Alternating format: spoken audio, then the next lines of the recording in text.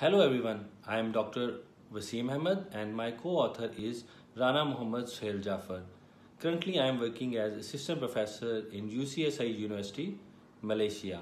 I would like to briefly introduce the articles we are going to publish in Tourism Review. The topic is Tourist Loyalty in Metaverse, the role of immersive tourism experience and cognitive perception. The aim of this study to examine how metaverse experience affects tourist cognitive processing, satisfaction and loyalty towards metaverse tourism. We develop a novel research model to understand tourist behavior within metaverse.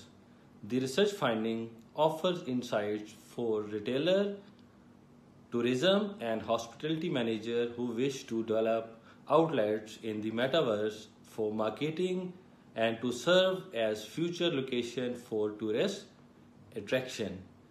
And thank you.